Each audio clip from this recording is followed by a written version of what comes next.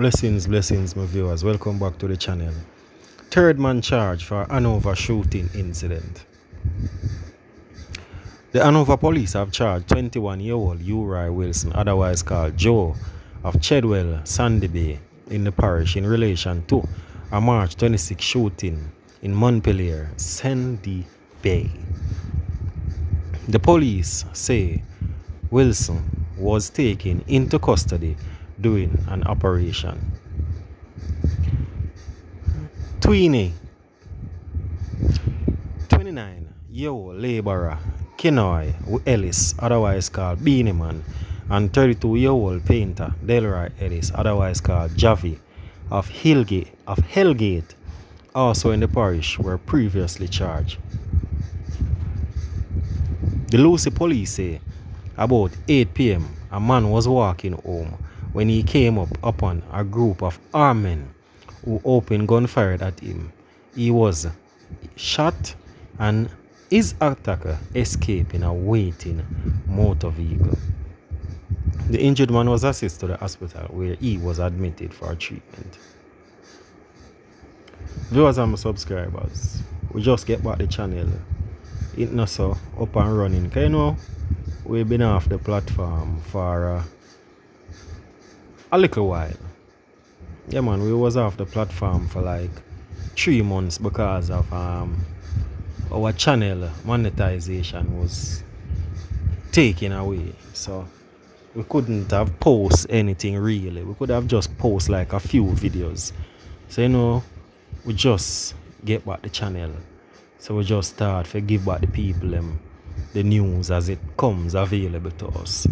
So I just want the people, um, my subscribers, all 27,000 now, if you continue to support the thing. Yeah man, if I even want 10k video, yeah man, want 10k views is really appreciated. The more and the longer I want to watch a video, if you like the video, YouTube recommend it. So other people out there when I subscribe to the channel can see it and also subscribe to the channel. Yeah man, so we just a beg on to do that. If you want to see it pop up on the screen, you just click the link, leave a comment in our comment section and share the video on you know on a social media platform. On a WhatsApp, on a Facebook, on a TikTok, on a Instagram. Yeah man, just share it out. You know, at this we don't forget our little shilling so we can make something reach the mouth, you know, and we can give back something to the, the It just the same, you know, because we don't take everything for ourselves.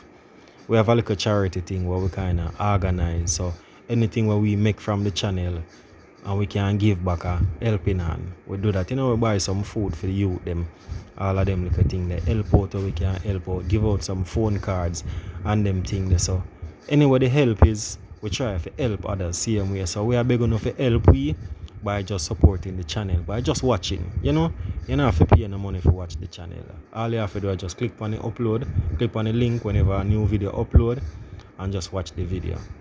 Even if you put it down and watch it, make, make it go and play out. If there's an ad, you just watch the ads.